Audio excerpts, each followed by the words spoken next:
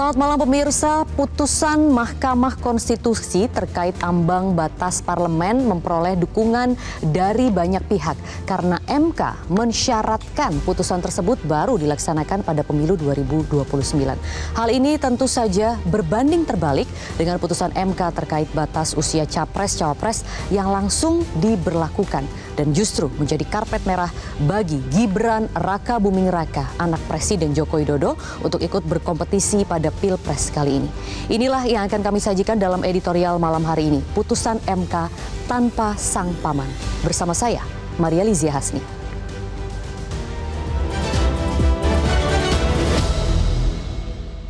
Putusan MK tanpa sang paman.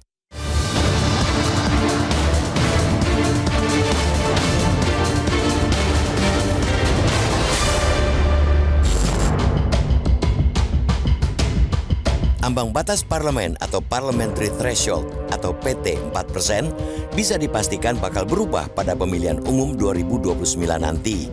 Itu setelah Mahkamah Konstitusi pada Kamis 29 Februari mengabulkan gugatan atas PT tersebut yang diajukan oleh Perkumpulan untuk Pemilu dan Demokrasi atau Perludem perlu menggugat ambang batas 4% karena angka itu gagal melahirkan penyederhanaan partai politik sebagaimana diharapkan dari aturan perlunya ambang batas. Hingga kini, jumlah parpol di parlemen nyaris tidak berubah signifikan dari pemilu ke pemilu. Dalam keputusannya, MK menyatakan PT 4% bagi partai politik untuk bisa masuk di DPR itu tidak sejalan dengan prinsip kedaulatan rakyat, keadilan pemilu, dan melanggar kepastian hukum yang dijamin konstitusi. Menurut MK, PT tersebut konstitusional sepanjang tetap berlaku dalam pemilu DPR 2024 dan konstitusional bersyarat untuk diberlakukan pada pemilu DPR 2029 dan pemilu berikutnya. Keputusan MK kali ini, meskipun tetap melahirkan sejumlah ketidakpuasan, layak mendapat apresiasi. MK telah menelurkan keputusan yang tepat, yakni mengembalikan urusan ambang batas kepada pembuat undang-undang, yakni parlemen. Keputusan itu berbeda 180 derajat dengan keputusan soal ambang batas usia calon presiden dan wakil presiden yang dicerca banyak pihak. Persoalan PT ini memang baksi malakama. Dimakan bapak mati, tidak dimakan ibu mati. Meski tujuan utamanya juga baik, yakni menyederhanakan partai-partai politik memperkuat sistem presidensial, serta mengurangi para pemain di Dewan Perwakilan Rakyat atau DPR. Sejak diberlakukannya PT, jumlah partai politik yang menjadi peserta pemilu berkurang drastis dari 38 2009 menjadi 12 pada 2014 sebelum kemudian naik lagi menjadi 16 pada 2019 dan 18 pada 2024. Ambang batas perolehan suara partai politik untuk duduk di DPR ini sejatinya telah beberapa kali mengalami perubahan. Saat pertama kali diterapkan pada pemilu 2009, PT untuk partai politik mendudukan wakilnya di DPR adalah meraih jumlah suara minimal 2,5 persen dalam pemilu kemudian naik menjadi 3,5 persen pada pemilu 2014. Lalu pada pemilu 2019 naik lagi menjadi 4 persen dengan terbitnya Undang-Undang Nomor 7 Garis Miring 2017. Namun, seperti dikatakan MK dalam putusannya, MK tidak menemukan dasar metode dan argumen yang memadai dalam menentukan besaran angka atau presentase ambang batas parlemen dimaksud, termasuk metode dan argumen yang digunakan dalam menentukan paling sedikit 4% dari jumlah suara sah secara nasional sebagaimana ditentukan dalam pasal 414 ayat 1 Undang-Undang Pemilu. Keputusan MK ini, bila dimaknai secara positif, mestinya membuat politisi berpikir dan berikhtiar ekstra keras agar lebih logis menentukan ambang batas parlemen yang bisa paralel dengan penyederhanaan parpol. Putusan itu mengharuskan DPR benar-benar mendasarkan argumentasi bahwa angka ambang batas parlemen tidak sekadar angka coba-coba, apalagi angka karangan. Aturan ambang batas parlemen penting diterapkan untuk menjaring kualitas partai yang duduk di parlemen. Jangan ada lagi partai baru berdiri langsung ikut pemilu jika PT 0% atau partai yang kemudian hanya memiliki satu kursi di DPR sehingga sangat rawan menjadi ajang jual beli keputusan. Untuk itu, pemerintah dan DPR sebagai pembentuk undang-undang harus merumuskan ambang batas yang ideal bagi partai politik untuk melenggang ke Senayan. Sebab parlemen yang berkualitas dan menentukan demokrasi yang berkualitas pula. Tapi yang tidak kalah penting lagi adalah keputusan ini berlaku pada 2029 bukan 2024. Mengapa penting? Karena ini menutup celah bagi partai-partai tertentu untuk bisa masuk ke parlemen jika diterapkan pada tahun ini. Setelah heboh bantuan paman untuk menjadi calon wakil presiden, jangan lagi MK menjadi tempat meminta untuk meloloskan partai tertentu ke Senayan.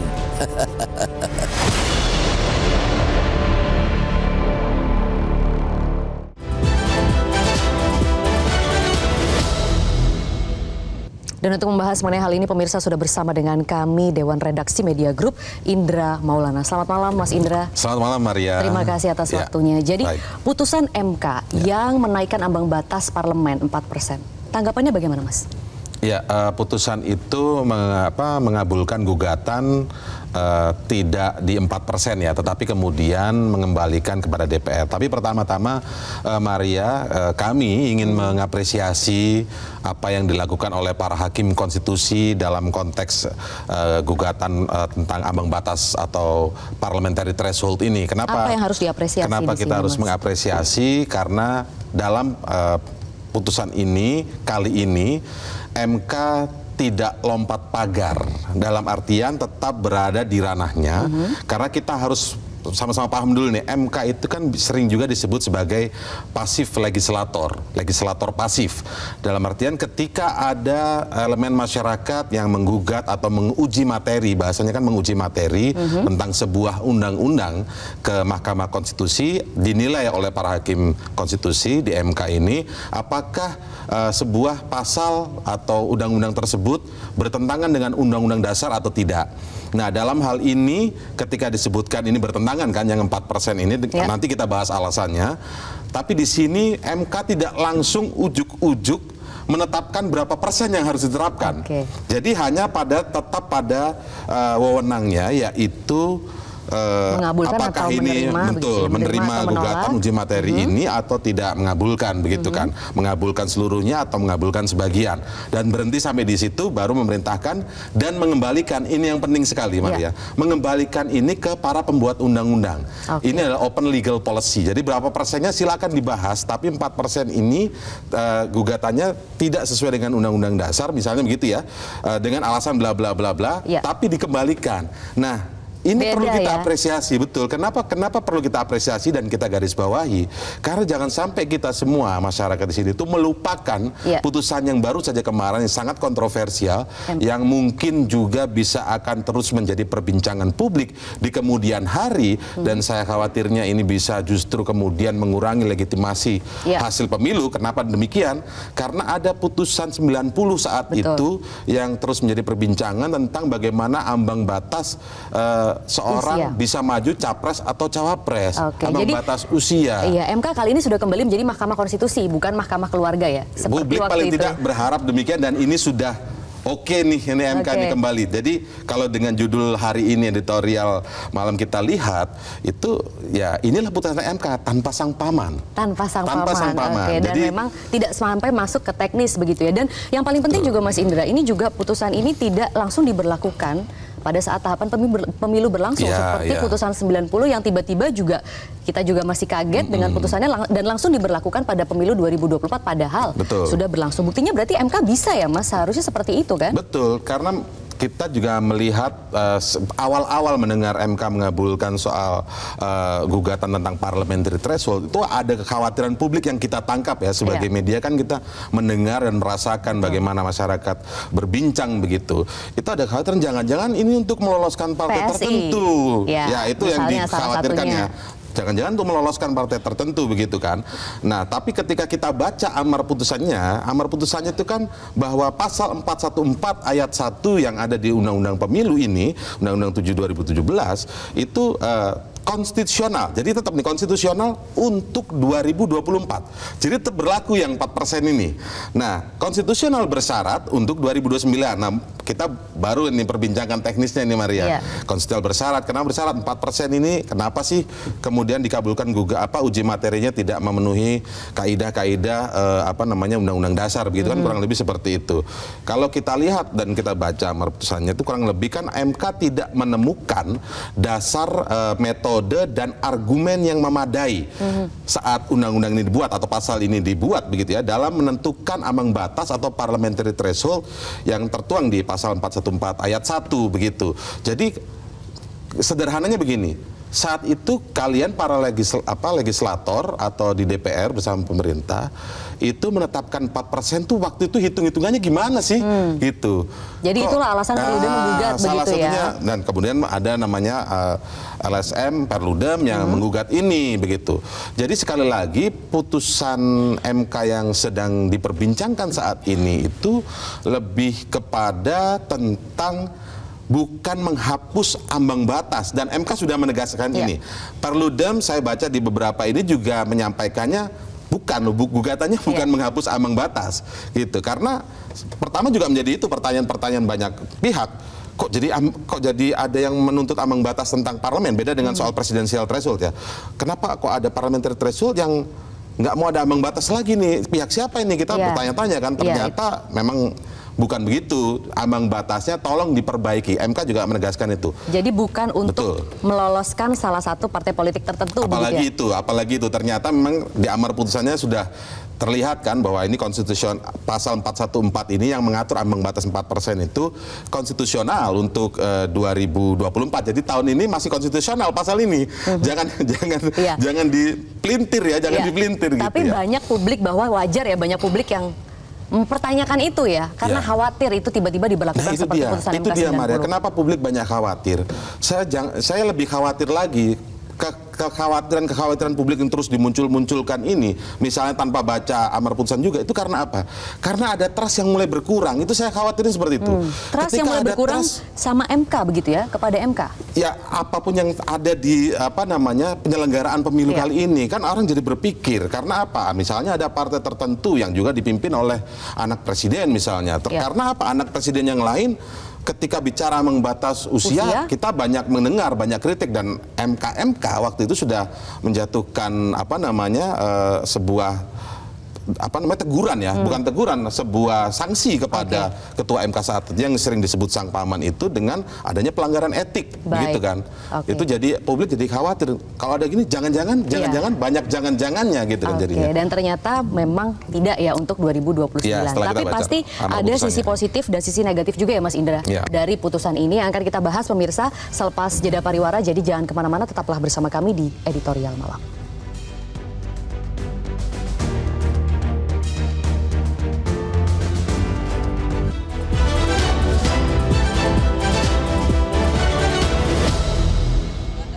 Bagus, memang harus begitu.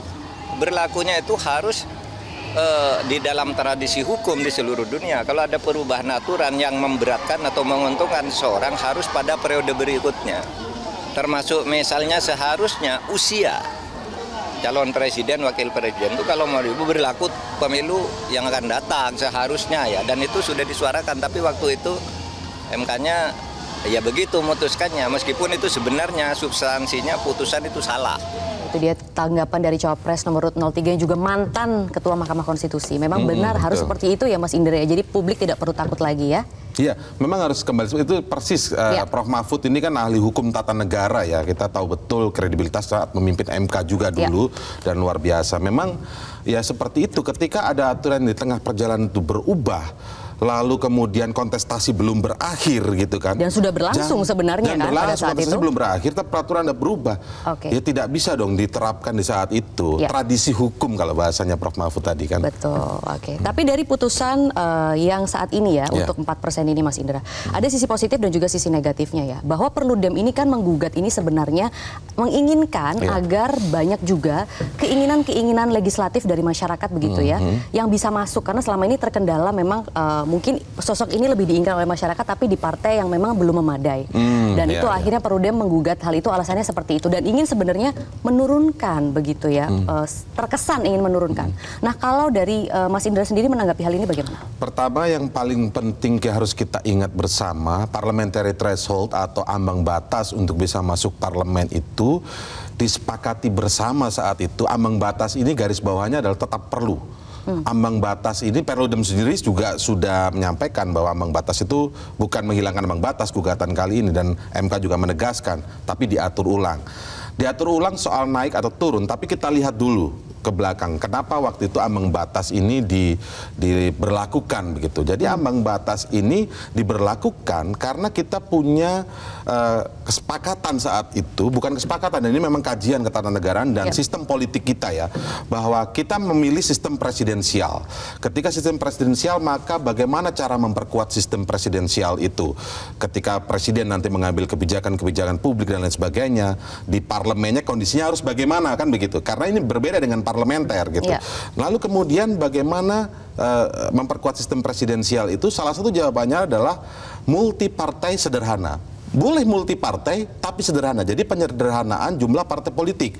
Jadi bahaya juga kalau tidak ada ambang batas Maria bisa digambarkan ketika misalnya nih Maria sama saya taruhlah kita berpikir kita ini adalah job seeker misalnya kemudian iseng-iseng karena suka berorganisasi kita bikin partai kita coba akalin begitu ya ke apa namanya syarat-syarat administrasinya di Kumham lulus di KPU kita bisa lulus untuk Iya. ikut pemilu lolos untuk bisa ikut pemilu otomatis kita sudah akan menjadi anggota dewan Oke, tapi kalau memang Kan itu yang akhir- diinginkan rakyat misalnya. Bukan soal ini diinginkan rakyat, maksudnya begini. Jadi, jadi ini tidak bertentangan apa yang diinginkan atau tidak diinginkan Ya. rakyat. Yang dikhawatirkan kalau dilihat dari sisi perludem dan lain sebagainya, saat itu penetapan 4% angka 4 keluar ini menurut eh, gugatan dari perludem itu eh, apa namanya kajian metode ilmiah dan alasan realnya itu kurang komprehensif gitu loh. Kenapa tiba-tiba jangan-jangan ini cuma sekedar naikin dari sebelumnya kan tiga setengah persen, lalu jadi 4 persen. Nah, ketika tanpa dilakukan Alasan ya. tanpa ada kajian komprehensif melibatkan elemen masyarakat di luar DPR dalam hari ini mungkin beberapa lembaga yang selalu mengikuti apa perkembangan demokrasi kita dalam konteks pemilu gitu ya. Nah, itu yang yang berbahaya maksudnya begini.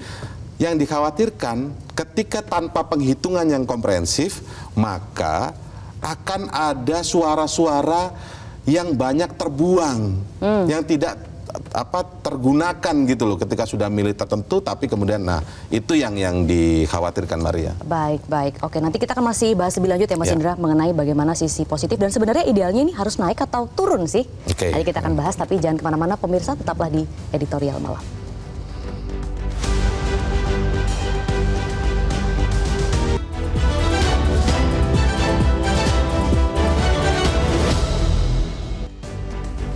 Dan pemirsa inilah polling dari eh, netizen ya. Perlukah ambang batas parlemen dinaikkan lagi agar terjadi penyederhanaan partai di DPR dan ternyata netizen merasa perlu malah perlu dinaikkan begitu ya.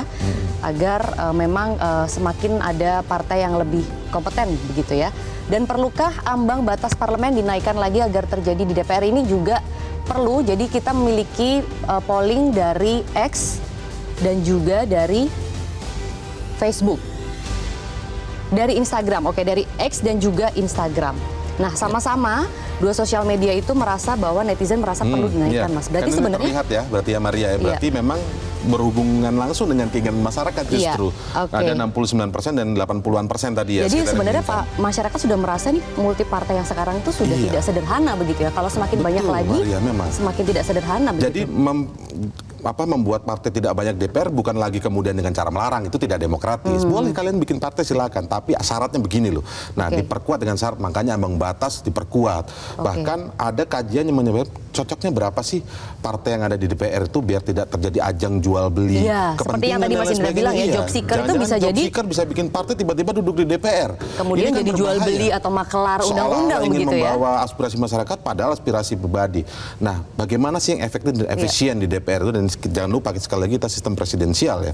Jadi nah, harus itu adalah naik atau turun ini mas berarti idealnya. Ya kurang lebih kalau kita yang ideal ada sebuah kajian yang pernah eh, mengemuka ya di publik ya. di Indonesia itu di DPR terutama kurang lebih kalau antara 5 sampai 6 partai saja cukup begitu. Nah, artinya itu pentingnya ambang batas dinaikkan. Ambang batas dinaikkan itu bukan jangan dipikir sama dengan menaikkan harga loh, beda loh. Ini menaikkan agar partai-partainya ini semakin berkualitas yang bisa duduk. Artinya ketika masuk DPR ini partai yang berkualitas. Berkualitas itu apa sih artinya? Ya kalau dia mampu mencapai ambang batas yang tinggi, berarti kan di masyarakatnya dia itu memang dipilih oleh masyarakat gitu loh. Dan seharusnya calegnya juga lebih Betul. berkualitas ya kan Mas Calegnya ya? berkualitas. Dan kalau ada partai yang sekitar cuman berapa persen, satu persen kurang gitu misalnya, kemudian pingin duduk di DPR, kan ini berbahaya. Yang milih kan cuma satu persen. Bukan soal suaranya akan hangus, bukan soal itu, tapi kita butuh partai-partai yang ada di DPR itu partai-partai yang memang memiliki kualitas yang bagus. Kualitas itu diukur dengan apa? Dipilih oleh banyak, gitu. Jadi kurang lebih seperti itu. Mungkin kalau bisa saya tambahkan sedikit, maka sisi positifnya adalah ayo para legislator ke depan ini bentuklah eh, ambang batas parlemen ini yang lebih komprehensif. MK sudah memberikan panduan sebenarnya guidance dari eh, tergambar dari putusannya itu. Desainlah uh, parliamentary threshold ini untuk berkelanjutan. Ya. Seringkali kita tuh undang-undang pemilu itu diubah dua tahun menjelang pemilu dan itu Ya. masih bargain gitu loh. Jadi dibentuk itu memang untuk tawar menawar. Iya. Jadi Memudahkan si job seeker itu tadi jangan Nah, sampai jangan begitu sampai ya. begitu. Kemudian Oke. juga proporsionalnya menghitung besaran dapil dan Baik. lain sebagainya. Ada beberapa hal lah yang harus memang ini menjadi PR-nya legislator ya. Kita Baik. uji legislator kita ini nih. Oke, yang untuk merumuskan ya. ambang batas yang ideal dengan Betul. kajian yang komprehensif begitu Betul ya. sekali, Baik, Maria. Dewan Redaksi Media Group Indra Maulana terima kasih Terima untuk kasih, Maria. waktunya di editorial malam. Dan pemirsa, demikian editorial malam kali ini. Saya Maria Lizia Hasni. Terima kasih. Sampai jumpa.